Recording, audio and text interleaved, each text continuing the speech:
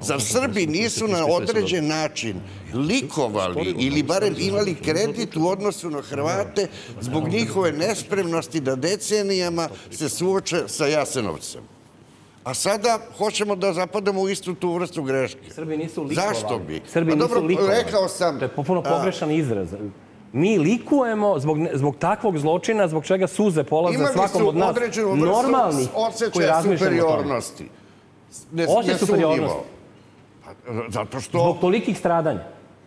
ne zbog tih stradanja, vi slušate mene, A ja vas slušam, vi govorite o likovanju Zbog- zbog činjenice vezano za da- bilo šta povodom da- Jasenovca. Zbog činjenice da Hrvati nisu bili spremni da se suoče sa istinama Jasenovca. I mi likujemo zbog toga. Dakle, pa imali smo Pa ne, mi smo očajni zbog toga.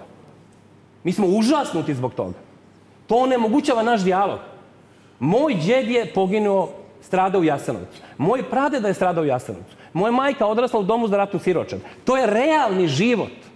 Nije samo naše prepucavanje. E, Neki Srbi likuju, nacionalisti su zli.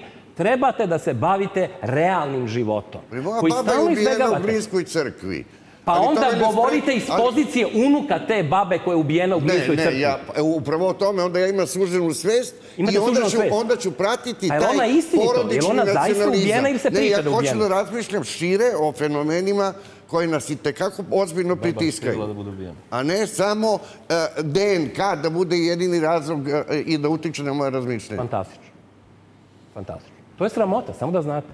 Iz moralne perspektive je sramota. Dobro, Taj ali- odnos prema sobstvenoj porodici. To je vaše ubeđenje, svako ovo. Divno.